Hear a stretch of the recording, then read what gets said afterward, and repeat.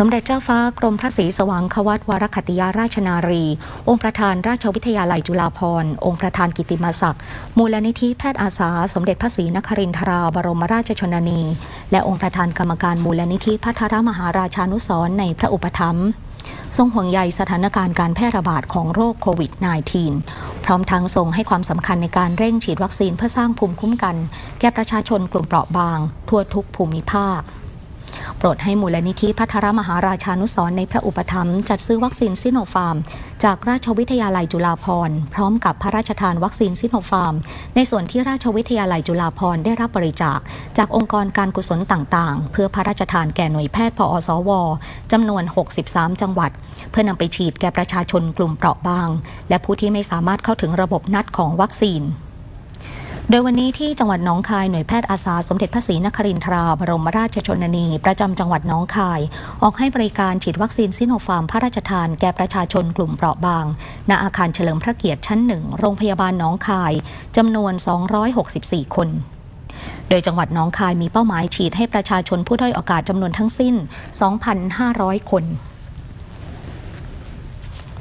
ที่จังหวัดจันทบุรีหน่วยแพทย์อาสาสมเด็จพระศรีนครินทราบรมราชชนนี ประจำจังหวัดจันทบุรี ออกให้บริการฉีดวัคซีนซิโนฟาร์มพระราชทานแก่ประชาชนกลุ่มเปราะบาง ในพื้นที่อำเภอเมืองจันทบุรี เปิดให้บริการจำนวน 262 คนนอกจากนี้ลงพื้นที่บริการฉีดวัคซีนแก่ผู้ป่วยติดบ้านติดเตียงจำนวน 24 หลังคาเรือนด้วย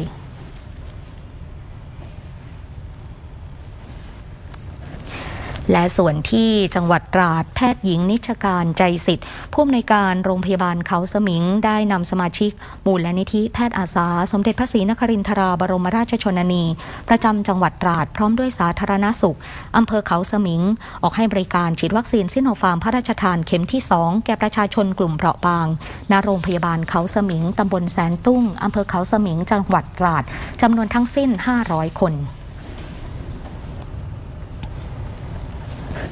และที่จังหวัดสตูลนายเอกรัตน์หลีเซนผู้ว่าราชการจังหวัดสตูล